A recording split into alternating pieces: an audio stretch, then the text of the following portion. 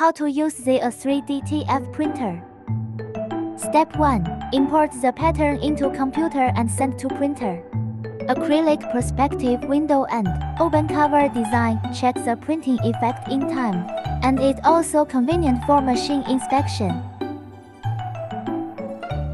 Step 2. Shake powder. Step 3. Put the customized pattern in the A3DTF oven. The even have a countdown reminder function. Let's cut the pattern. Step 4. Put into the heat press machine.